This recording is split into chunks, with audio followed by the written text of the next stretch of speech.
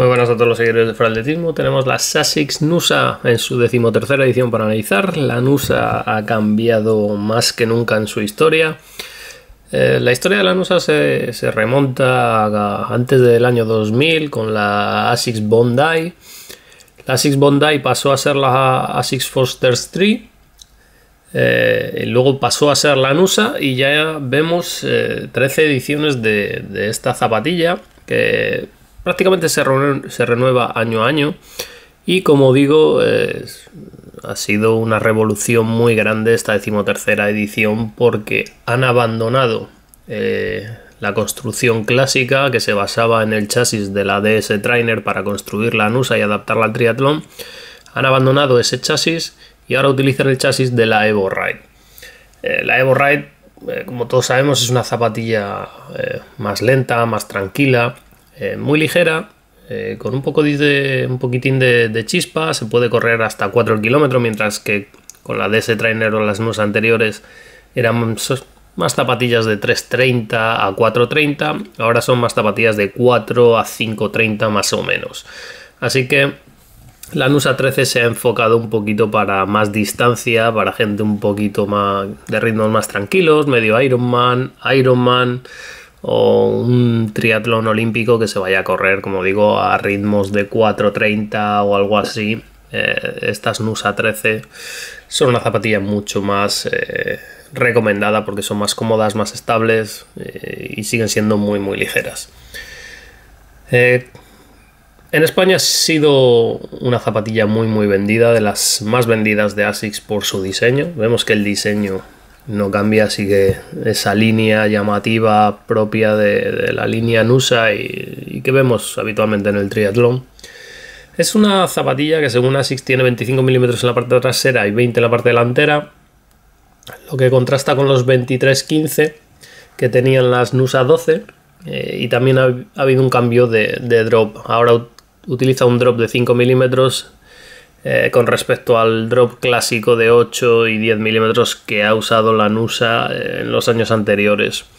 ¿Qué es lo que han intentado hacer? Pues le han dado un chasis un poco más curvado con la tecnología Guide Soul, con un repunte muy marcado, 52 milímetros de altura en, la parte delantera, una entrada un poco más progresiva, sobre todo para enfocarse el aterrizaje en esta zona hacia adelante, como vemos todo, toda esta zona de objetivo que tiene como objetivo el aterrizaje es plana y luego la parte delantera es bastante rígida para que el despegue eh, se haga eh, por parte de la zapatilla y eso ahorre energía en la zona del, del tobillo, que es eh, pues lo que quieren conseguir en ASICS con, con la tecnología Kitesol que vimos en la Meta Ride sobre todo. Eh, personalmente la hemos medido más alta. La altura real del pie al suelo son 31 y 26, no 25 20 como dice ASICS, porque bueno, las marcas miden la altura de media suela, dejan fuera la suela, dejan fuera la plantilla, etcétera, etcétera. La altura real al suelo son 31 milímetros atrás y 26 en la parte delantera. Cosas que han cambiado. La base también es más ancha, especialmente en el, talón. Tiene 6 milímetros más de anchura que la versión anterior. Son 91 milímetros en la parte trasera, 114 en la parte delantera. Y es una zapatilla, como digo, eh, con una base con bastante contacto con el suelo. Desde que aterrizamos el contacto es total. Y la anchura, especialmente desde aquí hacia atrás, es bastante ancha y que garantiza pues, una estabilidad muy alta. La mediasuela se compone de flyfoam, es un flyfoam ligeramente firme. Como sabemos el flyfoam es una mezcla de EVA y polietileno. Lo que hace el polietileno es eh, permitir que la EVA tenga burbujas más grandes porque el polietileno lo que hace es reforzar las, paredes celulares de la EVA permitiendo que sea menos densa sin perder eh, digamos la estructura o la estabilidad eh, propia de una EVA. Con eso conseguimos pesos muy ligeros. Esta Nusa 13 pesa 219 gramos, aquí donde la veis con 30 milímetros de perfil. 219 gramos, 239 en esta talla que hemos probado 10 eh, americana. Así que es una zapatilla bastante ligera, es por eso que se puede llevar a 4 el kilómetro sin ningún problema. Y como decía, es un poquito, eh, un flyphone un poquito firme, Eh, es agradable, pero tirando a firme. Eh, o firme o lo que no estamos acostumbrados ahora con amortiguaciones tan tan blandas. Digamos que es una EVA clásica en cuanto a sensaciones cuando aterrizas con ella. Pero que eh, lógicamente no interesa que sea muy blanda porque rompería todo lo que se consigue con el Guide Sol. Aún así, como digo, para correr 20 o 30 kilómetros es una zapatilla muy cómoda.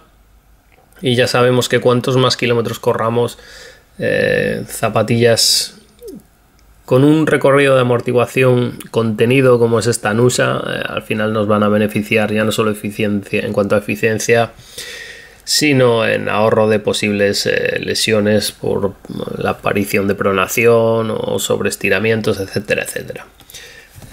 se ha trabajado mucho la geometría, como veis tiene un surco que recorre todo el lateral de, de la media suela, esto lo que hace es facilitar la compresión para que tenga un poquito más de recorrido. A pesar de ser una EVA un poquitín más firme de lo que estamos acostumbrados eh, últimamente en ASICS, lo que hace este surco es darle un poquito más de recorrido. El recorrido es medio, no es muy grande. Como digo, eso rompería la, lo que buscan con la tecnología Guide Sol. Y eh, en definitiva es una zapatilla Sobria en amortiguación, no le sobra, no le falta, digamos que tiene la justa, especialmente para una zapatilla de competición o entrenamiento ligero. En cuanto a la suela, como veis, eh, han hecho hincapié en reforzar el perímetro de la suela lo máximo posible para darle, digamos, eh, el mayor, la mayor sensación de amplitud a la suela, sobre todo cuando hacemos apoyo en esa zona, que es la que está más cubierta. Eh, notamos que la zapatilla es muy muy estable. La zapatilla es tremendamente estable. Eh, es Hard Plus, 63 grados en la escala HA de dureza, lo cual nos garantiza una buena durabilidad, especialmente en el talón. En la zona central tenemos una especie de isla con un taqueado poquito marcado, pero no demasiado, lo justo para agarrar en asfalto bien. Se defiende en parques bien cuidados en tierra se defiende decentemente. En mojado mm, no es un patín, pero tampoco es una maravilla. Digamos que es eh, sobria en ese sentido y no le puedes pedir muchas más cosas. Lo hace bien todo, no es espectacular en nada, pero es resultona. En cuanto a la durabilidad, yo le calculo 600, 650 kilómetros para alguien de 75 kilos. Sería el objetivo en el que estaría contento con la durabilidad de la zapatilla, especialmente teniendo en cuenta que son 219 gramos de peso y una zapatilla de competición, más una zapatilla mixta de entrenamiento ligero que una de entrenamiento puro y duro.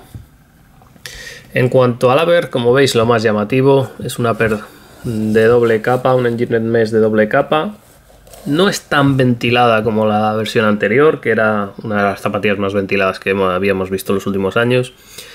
Sigue teniendo los mismos gráficos llamativos, refuerzos, el logotipo de ASICS va eh, impreso en 3D para darle un poquito de estructura y sujetar el pie lateralmente.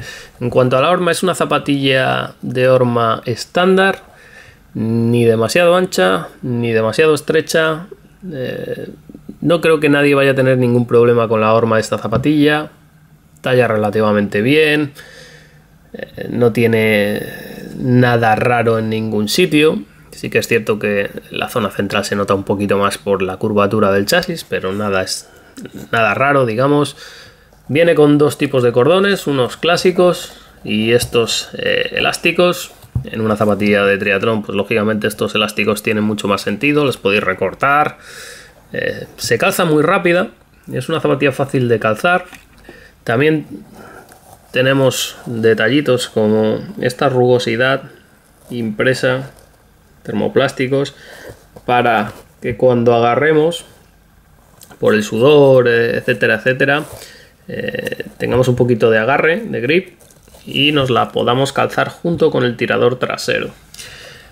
Internamente muy confortable, materiales casi de lujo, y que se puede utilizar lógicamente eh, sin calcetín. Eh, es una zapatilla no sé si lo vais a apreciar.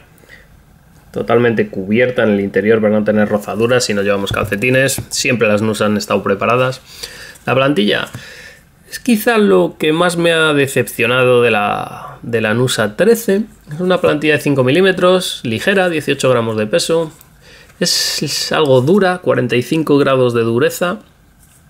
HC. Eh, eh, me hubiese gustado más ver una plantilla tipo Ortholite X40, pero bueno, entiendo el razonamiento de, ASICS de ponerle una plantilla eh, un poquito más firme, porque va a generar menos calor, va a aligerar la zapatilla, pero bueno, una zapatilla que no es tremendamente amortiguada o blanda, digamos, eh, pues le podía dar un poquito de amortiguación con la plantilla.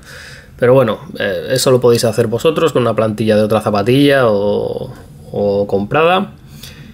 Y en general muy contento con la NUSA 13. Es un cambio de concepto, más enfocado como digo a la larga distancia, gente de ritmos un poquito más lentos, entre 4 o 5.30, pesos 360 y 90 kilos, incluso 95, eh, si somos eh, corredores habituales y tenemos cierta técnica la podemos usar.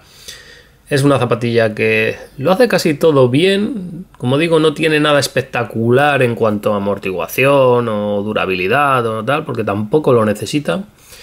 Eso sí, es muy muy estable. Si necesitáis estabilidad en una zapatilla ligera, esto es de lo mejor que vais a encontrar en el mercado.